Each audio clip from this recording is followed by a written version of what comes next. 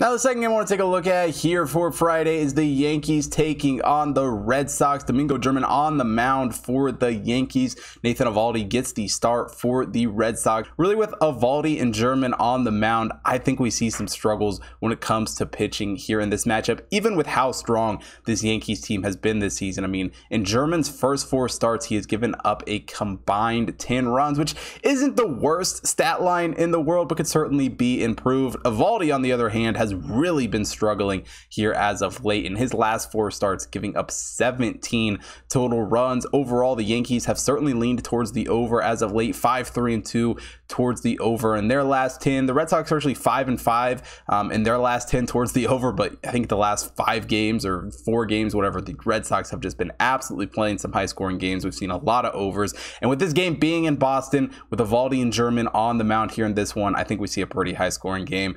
I'm taking the over nine and a half runs at minus 110 here for Yankees Red Sox.